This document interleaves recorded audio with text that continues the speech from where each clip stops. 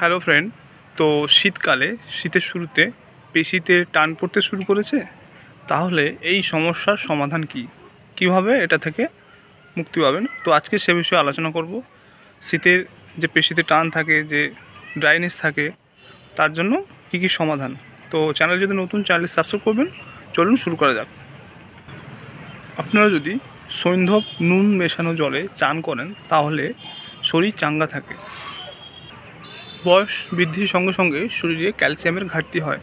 এটা বিশেষ করে মহিলাদের ক্ষেত্রে বা অনেক শিশুদের ক্ষেত্রেও দেখা যায়।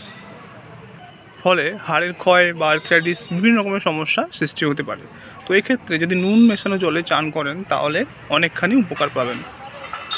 রক্ত সঞ্চালন বাড়ে। অর্থাৎ যদি স্নানের জলের সঙ্গে যদি এক এক চামচ নুন মিশিয়ে নেন, তাহলে আপনাদের রক্ত সঞ্চালন শরীরে বাড়বে। দেখবেন, যদি নুন মেশানো জলে চান করেন, তাহলে আপনাদের শারীরিক এবং মানসিক ক্লান্তি দূর হবে। এবারে আমাদের পেশিকে সচল রাখে। শীতকালে অনেকেই জল কম খান, তাই পেশি টান টান থাকে।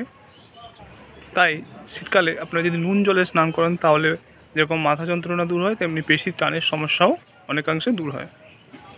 এরপর যেটা বলব, সেটা হচ্ছে বয়স ধরে রাখতে সাহায্য করে। কালের নিয়মে বয়সের শরীরে ছাপ ছাপ পড়বেই, কিন্তু কিন্তু কিছু অনিয়মের কারণে আগে থেকে এই ছাপ পড়তে পারে।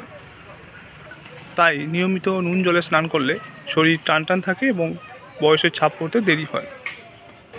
এরপর যেটা বলব সেটা হচ্ছে অনিদ্রার সমস্যা দূর করতে। বিভিন্ন কারণে রাতের পর রাত জাগেন, ঘুম আসে না।